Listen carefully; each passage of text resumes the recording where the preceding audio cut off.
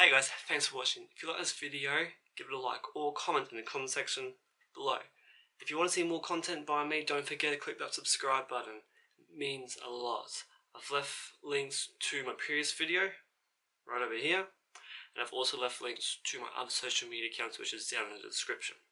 Again, thanks for watching. I hope to see you next time. See ya.